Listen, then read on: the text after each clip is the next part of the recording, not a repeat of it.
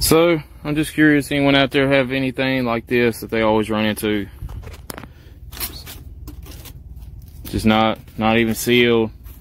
And then not only was the flex not sealed to it, but also the box wasn't sealed to the, to the grill. They put these one by twos up there, screwed the grill to it.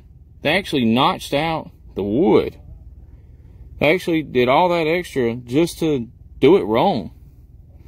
Like, uh, when I came up here to look at it, it was just, uh, sitting up here like this. And, uh, um, yeah, I mean, that's just, and look, same thing, just no mastic, no, not sealed, which I know it's older and stuff. But I mean, I can't be the only one that runs into this stuff, right?